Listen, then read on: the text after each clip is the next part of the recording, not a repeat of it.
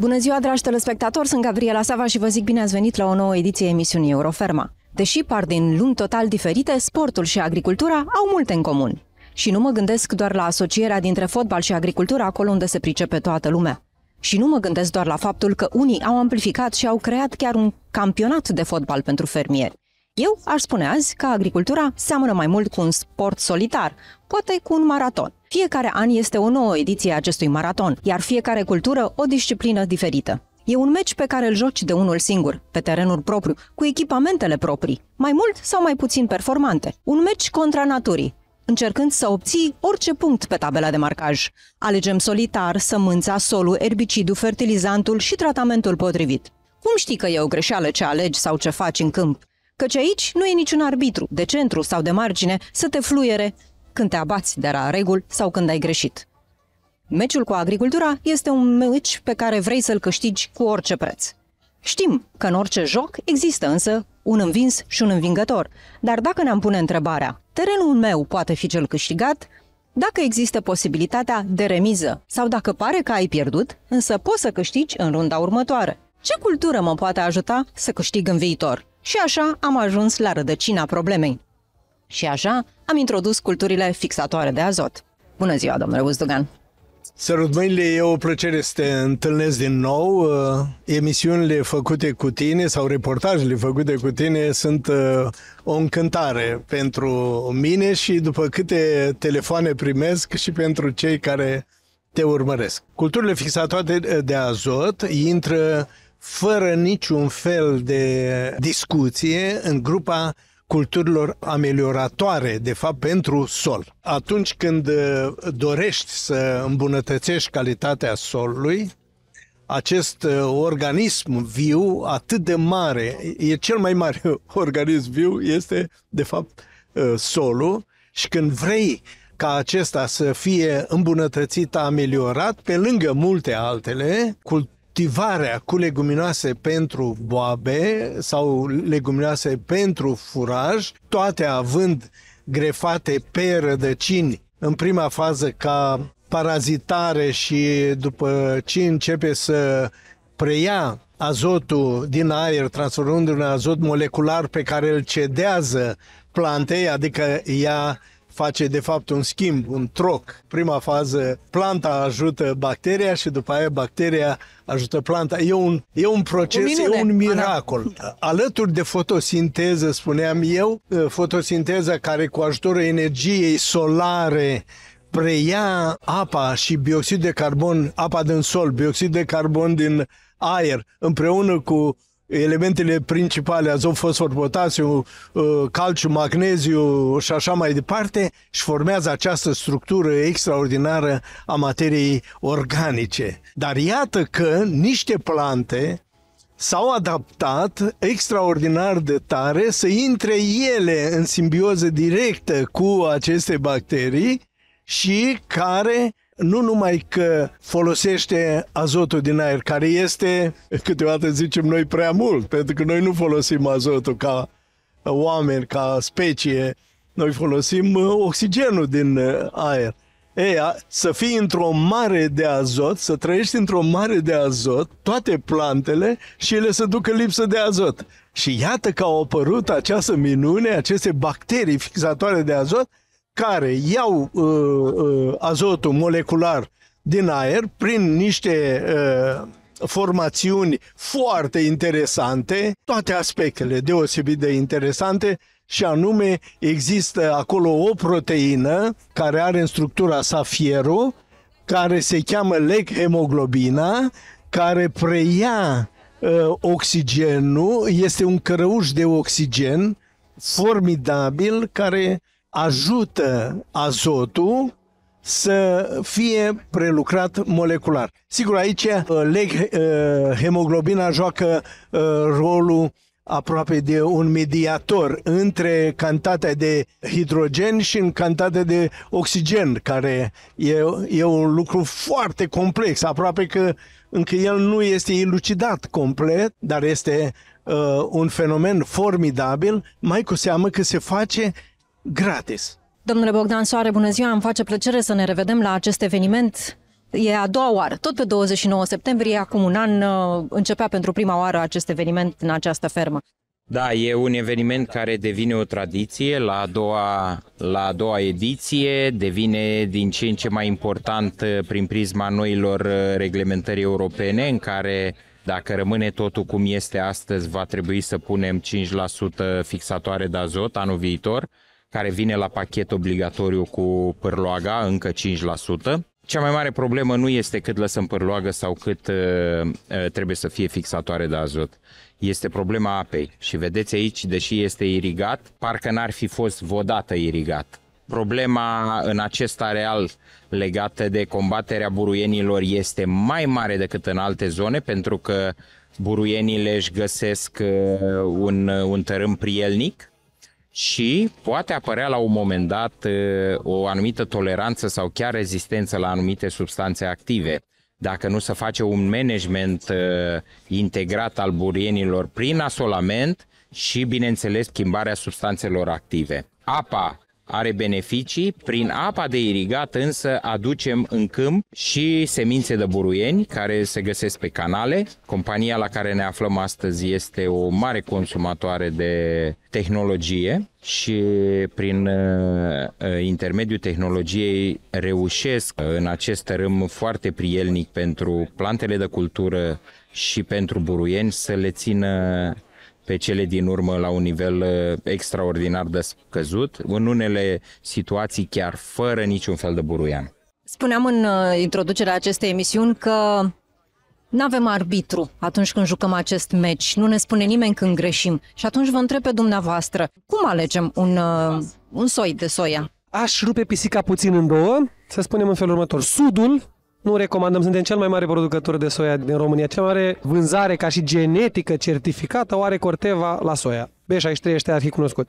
Și totuși nu recomandăm fermierilor din sudul și sud-estul României să încerce soia la neirigată. În schimb, pentru fermierii din centru, vest și chiar și nord-est, recomandăm maturitate mai mică la neirigat, pentru că beneficiile sunt cel puțin la fel de, de, de, de însemnate în ambele sisteme. Și atunci discuția uh, corectă s-ar putea cum alegem soiul cel mai prielnic pentru noi, pentru activitatea mea. Vă dau un exemplu. Sunt un fermier care am apă la discreție, care am experiență cu irigatul și atunci vreau să văd pragul de sus al culturii, vreau să văd 5 tone jumătate, 6 tone. Mare atenție, recordul este undeva la 12 tone avem de crescut. Știți cum noi suntem la sub 50%, la porumb suntem mai bine, la grâu suntem mult mai bine, deci la soia ne lipsește ceva. Știm ce ne lipsește o parte, partea de biotehnologii, dacă înțelegem ce vrea cultura și cum să facem pentru cultură și alegem un soi care să ni se potrivească și dau câteva detalii imediat, atunci cu siguranță suntem un pic mai fericiți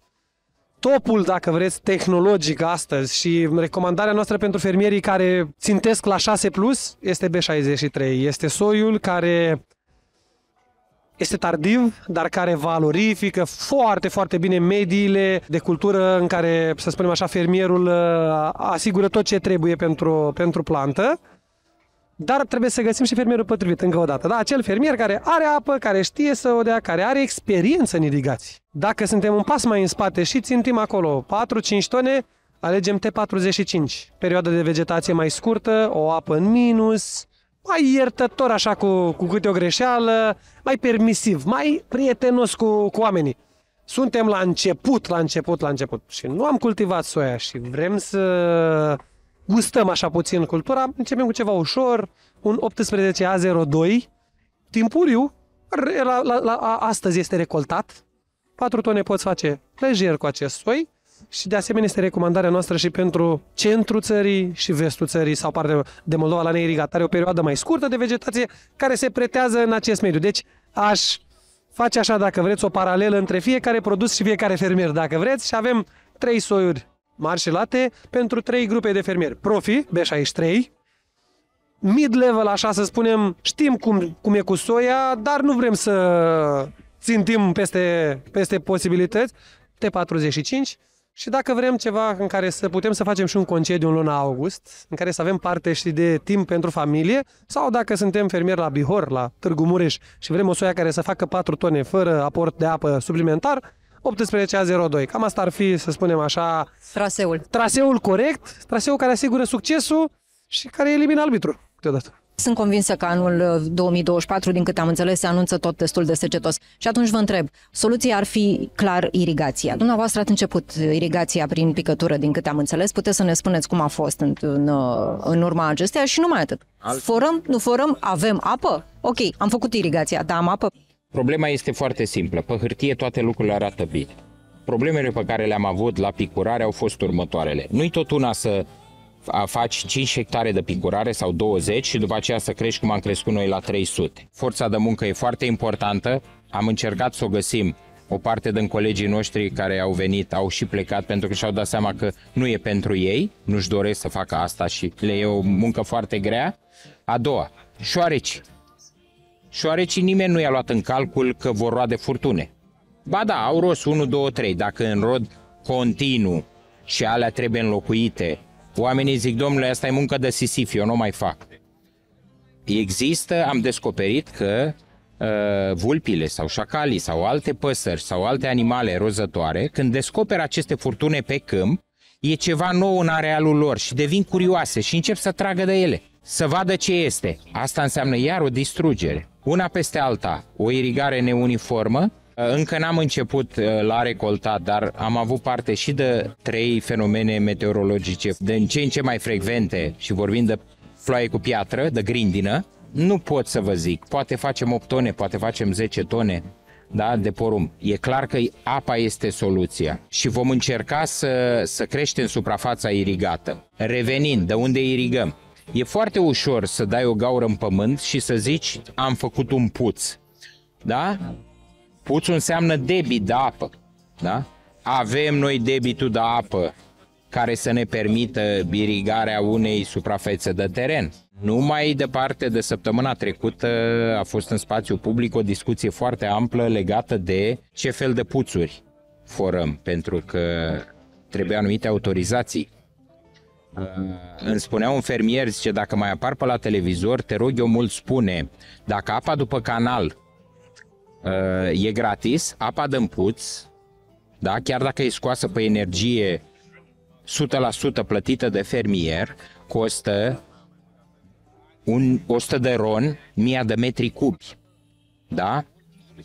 Sunt probleme și aici, că iar revenind pe hârtie lucrurile par într-un fel, sapi la 80 de metri sau la 100 de metri și îți dai seama că după 4 zile debitul scade la un sfert. Cel care ți-a săpat puțul și domnule, eu ți-am băgat țeavă, ți-am băgat tot ce e, ți-am adus pompa, asta este. Da?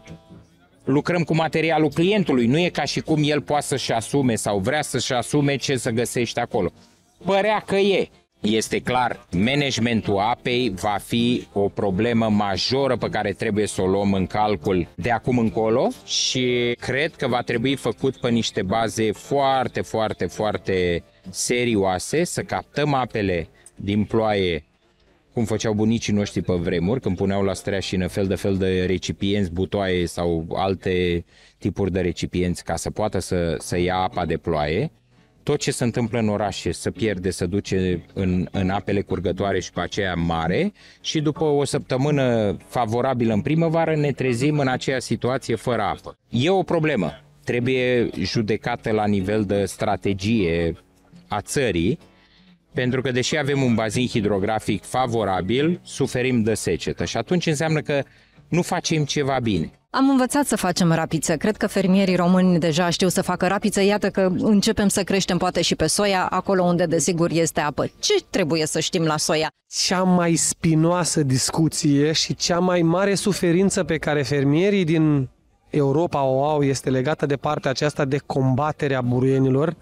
În primul rând, dacă fermierul are un teren pe care nu-l cunoaște, dacă are un teren care nu este curat de buruieni, ar trebui din start să uite de, de cultura de soia. Prima dată trebuie să asigurăm un control corect al buruienilor, să facem două, trei culturi de grâu, de porumb, unde combatem foarte bine buruienile și după asta. Doi la mână. Este o cultură care în Europa nu se poate face fără preemergență. Dacă la porumb mai putem sări la floare, la restul, aici trebuie să scoți tot ce ai în coș, toate posibilitățile. Fiecare își face pe o bucățică, dar dacă îți lipsește acea bucățică, ai pierdut. De asta, partea ușoară în America sau în zonele în care avem uh, tehnologie, este în realitate partea aceasta în care soia este rezistentă la glifosat și buruienile dispar așa. Retenția cea mai mare, mâine, dacă am avea acces la, glifo- la soia rezistentă la total, la glifosat, cultura ar crește de trei ori.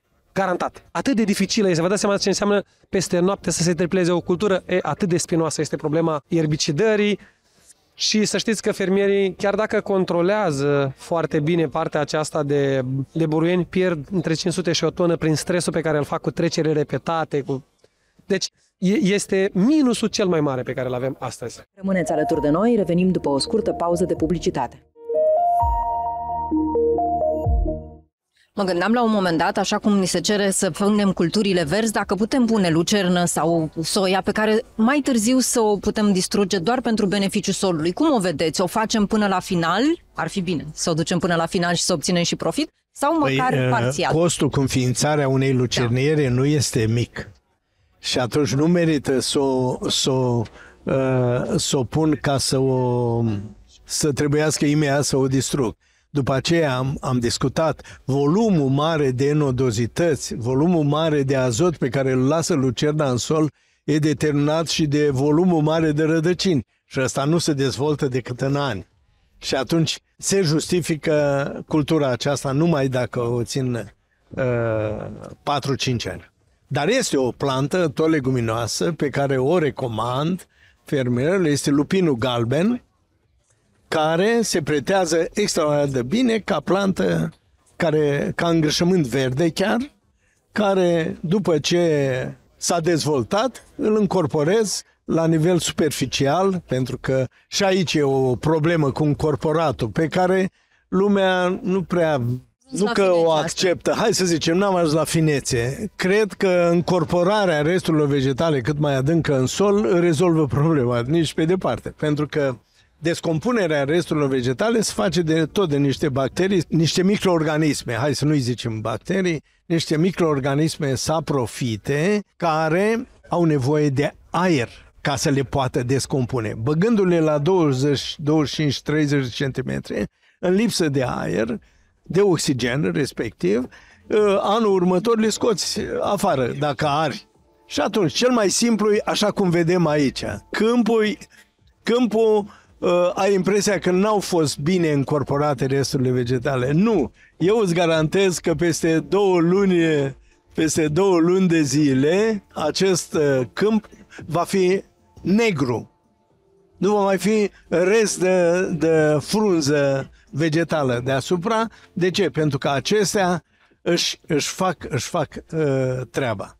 Avem voie la glifosat, domnule Soare, și știu că am mai discutat noi despre glifosat, dar haideți să revenim. Unde îl folosim, când îl folosim și cum e corect să-l folosim? Foarte important, glifosatul a fost uh, vitregit ani de zile în ultima perioadă, de fel de fel de discuții și de fel de fel de abordări legate de toxicitate, boli pe care poate să le producă omului și animalului. Am trecut faza de cancan și de senzațional și atunci am ajuns la un moment în care uh, el va fi uh, prelungit, vor exista anumite restricții care înseamnă protecție și aș începe prima dată cu restricțiile. Prima, nu se va mai aplica și deja nu se mai aplică și se va prelungi ca și desicant, s-a interzis, nu se va mai aplica 100% ca și uh, pre-harvest, adică combaterea burienilor înainte